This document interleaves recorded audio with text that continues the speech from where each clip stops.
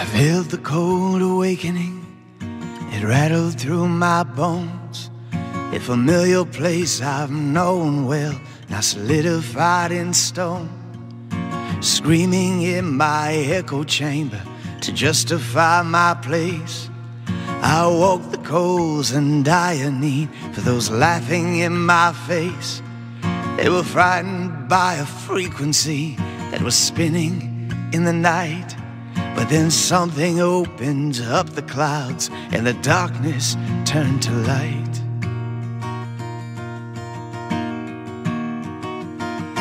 On a road that rides the righteous from the bear the consequence through the valley of forgiveness to the land of our last chance. It was a road that rides the righteous from the bear the consequence through the valley of forgiveness to the land of our last chance.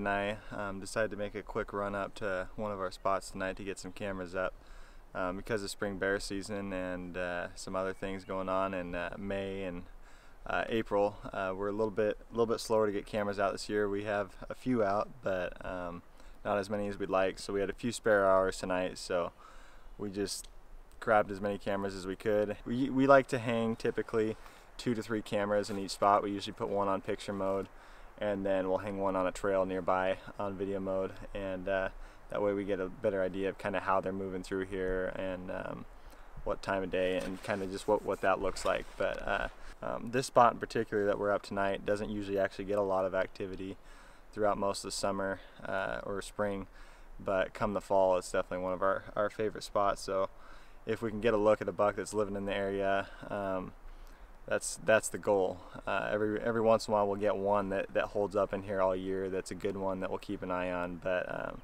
we'll probably give it a few weeks uh, before we get them checked. But if we don't get them checked for a couple months, not a big deal. Uh, we just want to know what's been in here throughout the summer.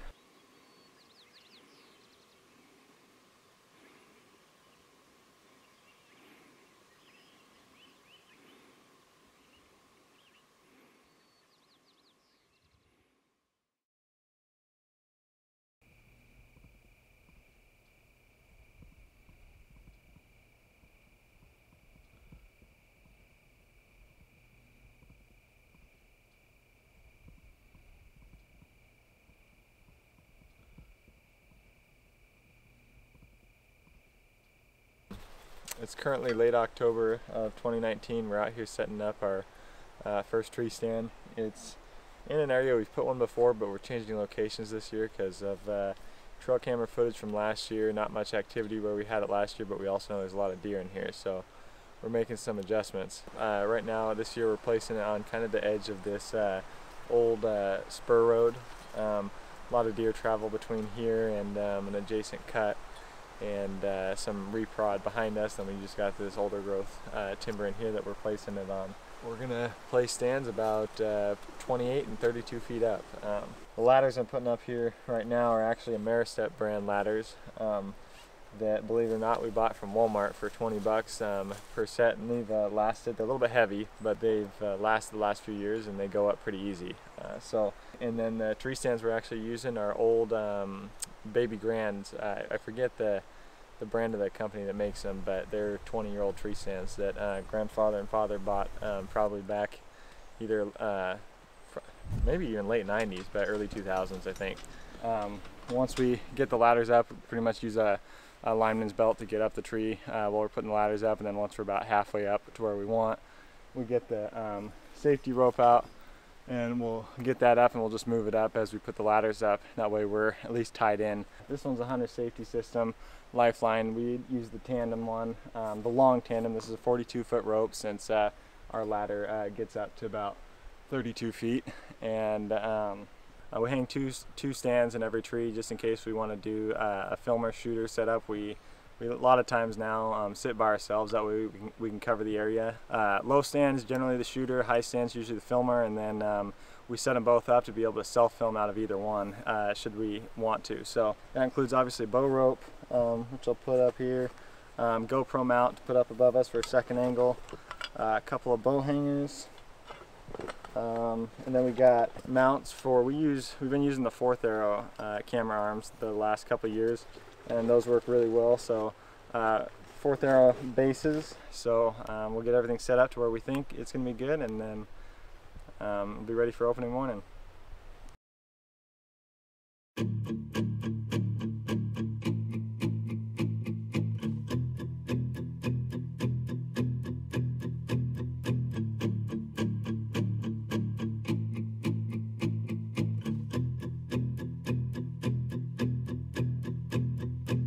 We're all falling and we need a place to hide. A safe place somewhere in the woods we can start a fire. All we know is what will be our home. We will stay until the break of dawn. It's opening morning of Oregon's late archery blacktail season here. It's about 8.30 right now. I just had a small 2x3 work its way in here. Rhett filled his tag early in the season, so he's not sitting in a stand this morning, but Kody Wyatt and I are out here, and um, Kody and Wyatt are in two different stands, so we're covering three different areas right now. Cold night takes us to a place to escape the chill. Tucked up somewhere in the woods on a hill. Wake up feeling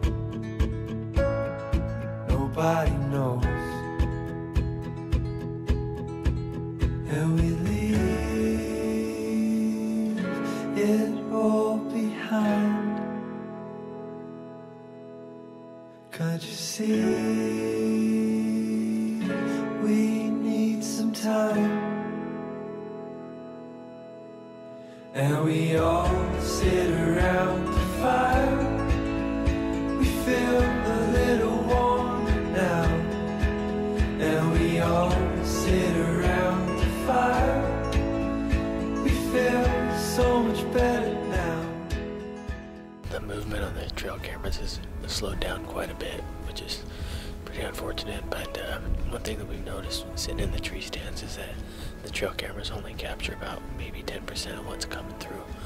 Um, it's like the deer that just came in. He went. He walked right behind uh, one of our trail cameras that's set up, so um, they don't always get caught on camera. Um, so that's why it's kind of hard to hard to gauge where their spot is entirely um, active or not. I just made it up to the stand uh, that I was planning on coming to this morning. Checked the cameras, put another camera out, and it's a little demoralizing that there was a uh, decent buck in here this morning, a little four point with a kicker. So that's a good thing. It gives me hope for this evening and tomorrow. But this was the target stand this morning, so it's too bad I couldn't hunt it.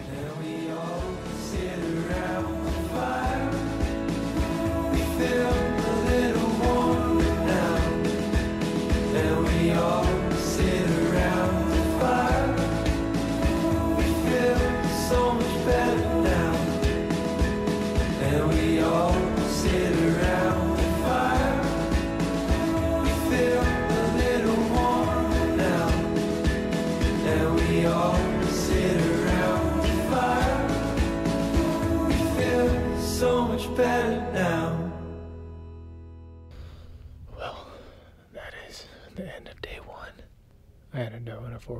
for the remainder of the night, and other than that, not a whole lot of action today. Uh, I'm gonna crawl out and hit it again tomorrow.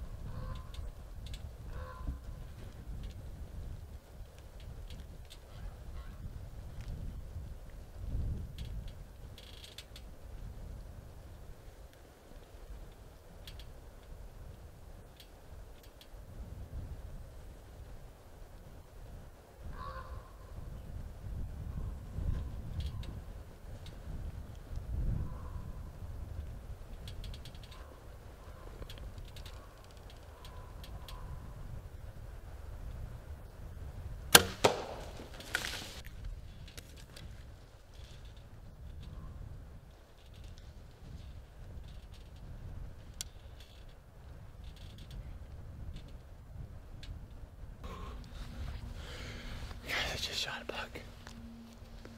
Um, he came in. There was a, a forking horn and two does in. And the forky started running this doe around. And so I brought it from where they were hanging out all morning, brought it back over here behind me. And as I was videoing him, this three point with eye guards came in. And uh, he, him and the fork and horn kind of play sparred. It didn't get real, uh, real heavy. And then he came under my stand and came out about 20 yards. I couldn't be more pumped right now. Well, found the buck.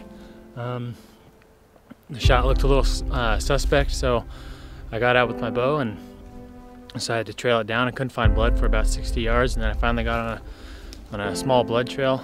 Um, and 40 yards after finding blood, he was piled up in the brush that I watched him that I watched him disappear into. So um, we got a, a, nice three point down. Uh, we got three more tags to fill. We got Kody Wyatt and Dad to fill. Um, hoping the luck continues. This is the second day. Can't believe it. I can't. Blacktail season's already over for me, but uh, I'll uh, continue to to check check trail cameras and and check spots as long as we have tags to fill. So anyway, I'm gonna go go take a peek at them again.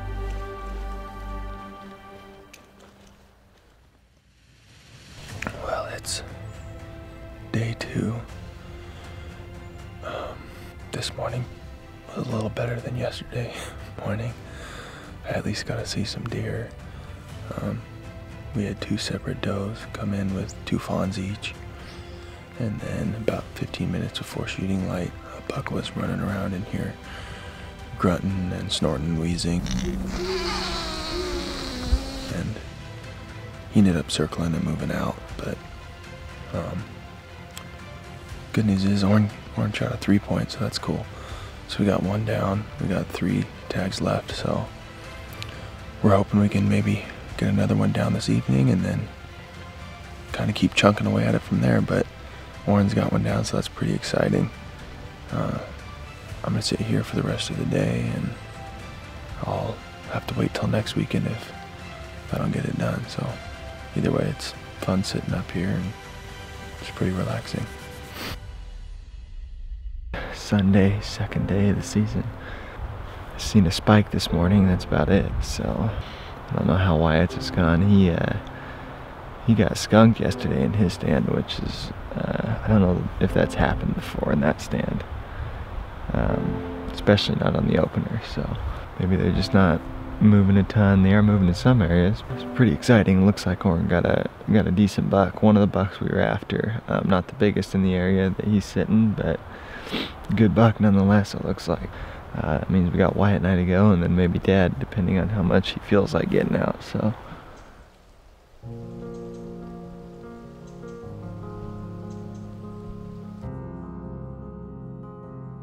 It's day four of the season.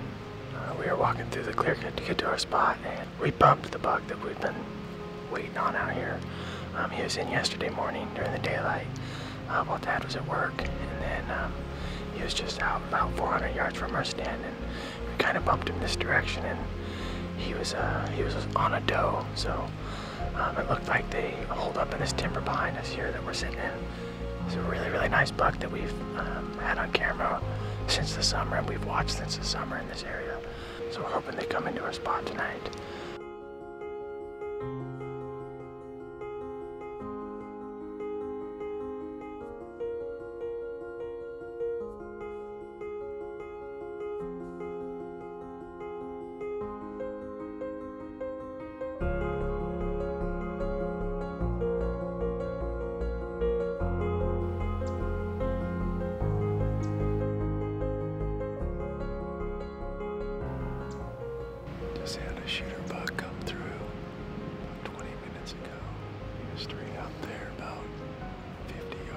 Uh, 60 yards from us and through the brush.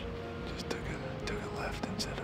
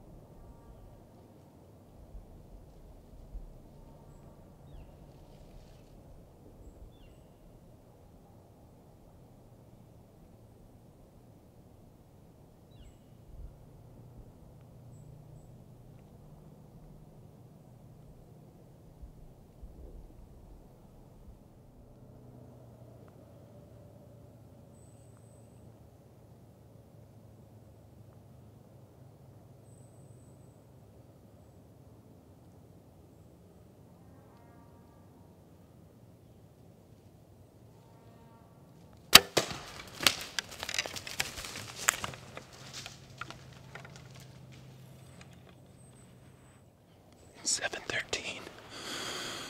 I just shot the 3x6 about five minutes ago. He came in. I was up here an hour and a half before light. He came in. It was I could hear deer moving in here about five minutes in the light, but in the timber it's still too dark to see. So I didn't want to move. So I didn't move at all. And then as the light changed, I could just see a buck right below me, but I couldn't tell what it was. I just kind of waited it out till I could see what he was. And I slowly turned on the camera and got the got the main camera on him. It's, he's really spooky. I mean, it's one of the spookiest deers that I've shot at. I think the shot was good. I mean, I watched where he went, and then I heard him crashing. So I think I think if I walk over there, he's gonna be dead. So it's the second weekend I've gotten to hunt, and we're only 20 minutes into first light, and I got a buck down. Kody uh, is in the stand right now, and Dad's in the stand. They have no no clue that I just shot one. So I was I was worried. The movement's been slow the past. I mean, into opening weekend, it was pretty slow in our areas, and I didn't see much opening weekend. Didn't see a deer the first day. Only saw a forky the second day, and then things change. It's quick like that. I love it. Number two down.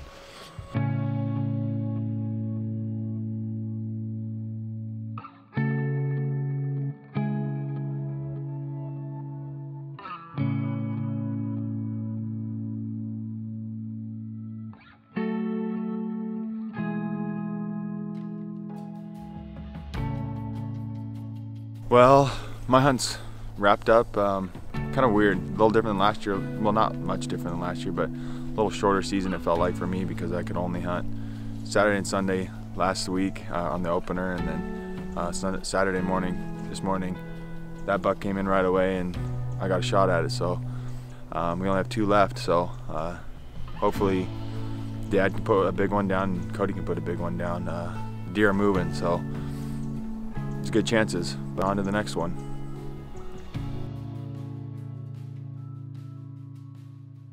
Saturday afternoon, second weekend, decided to come sit a different stand again tonight. The stand Dad hunted uh, this morning, the stand that he's been hunting isn't too far from this one, so him and Rhett checked the camera at this location this morning on their way out.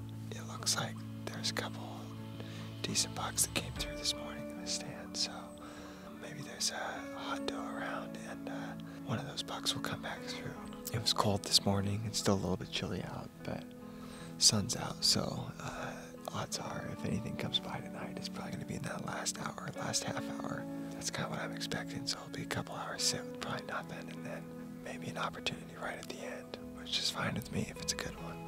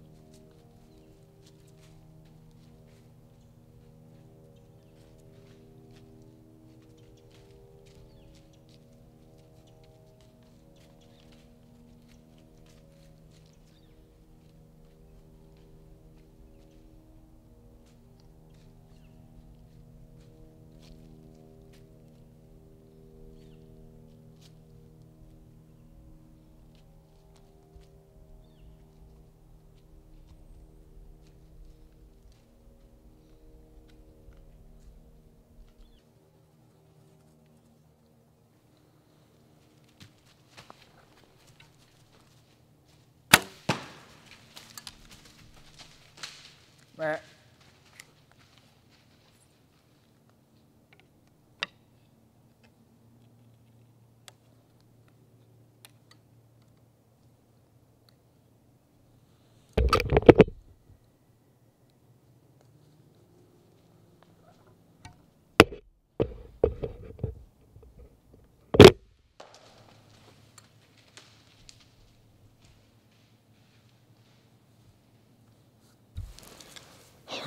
Well, as far as the decision this evening, it paid off. Um, bunch of does just came off the trail with a big four point chasing them.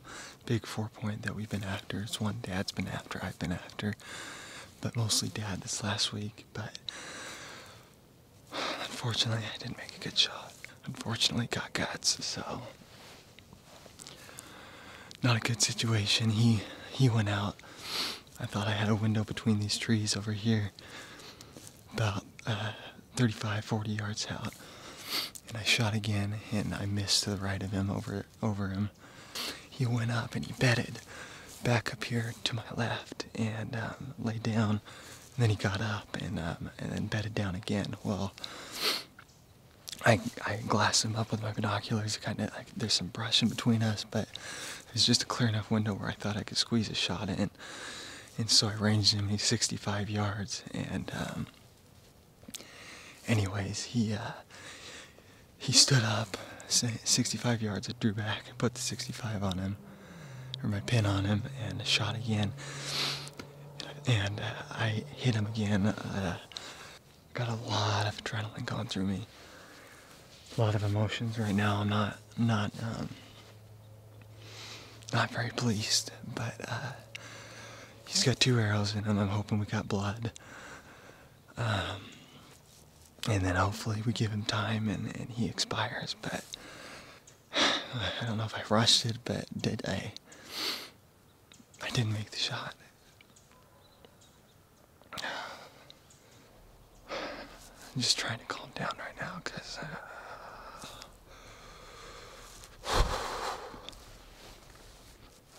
about about in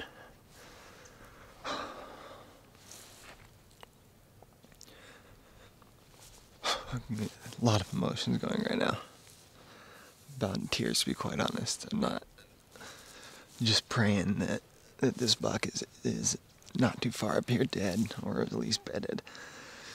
Because that's not how I wanted this night to go. oh my goodness. Well, so for, like I said, we're just gonna give it time. But I'm just gonna sit here for a while do what we can. Hopefully, hopefully I got something that that uh, gets him to expire quick because it's just I just don't like this situation.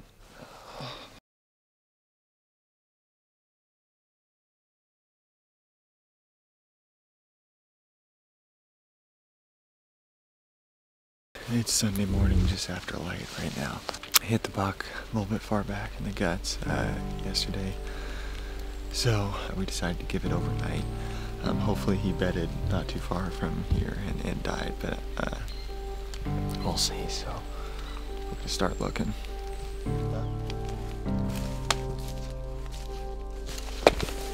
Holy crap, he's right here. I didn't realize he went down. I thought he went into the brush. Oh my goodness.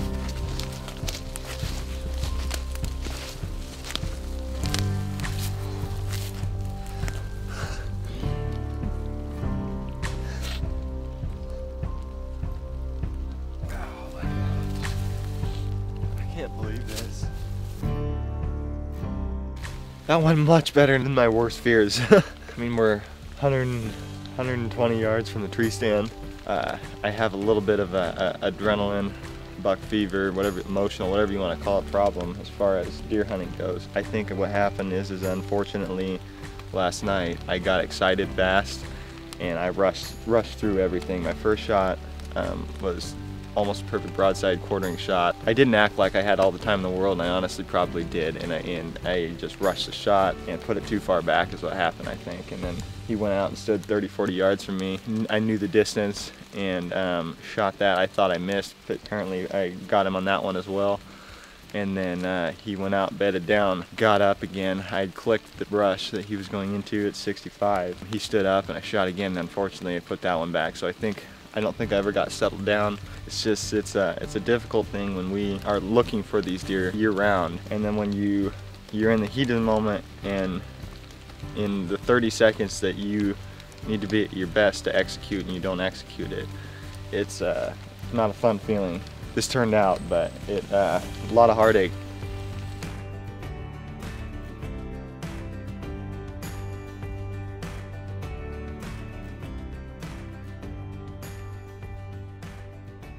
part of the season is always kind of unfortunate.